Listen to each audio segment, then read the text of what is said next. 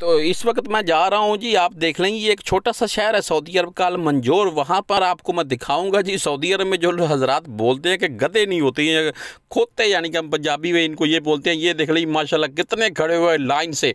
अगर इनकी गिनती की जाए ना भाई तो ये दस से पंद्रह हैं। ये देख लें, ये आगे भी दो तीन खड़े हुए हैं। दस से पंद्रह हैं ये गधे, ये यहाँ पर एक ही जगह पर खड़े हुए हैं। अगर मैंने इधर से किसी से पूछा है कि यहाँ पर ये इतनी तादाद में क्यों खड़े होते हैं तो उस भाई ने फिर मेरे को बताया है कि यहाँ पर एक पानी की टंकी लगी हुई है, वहाँ से ये पानी पीते हैं और ये आवारा घूमते हैं। ऐसे किसी ने रखे रुखे नहीं हुए हैं, ऐसे आवारा घूमते हैं इधर बस।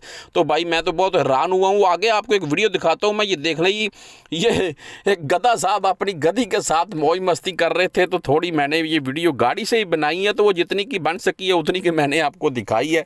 तो गाड़ी के ये दोस्त मेरा बैठा हुआ पीछे खस रहा है, ये वो भी इस बात से। तो ये अपनी गदी के साथ मस्ती में लगा हुआ है।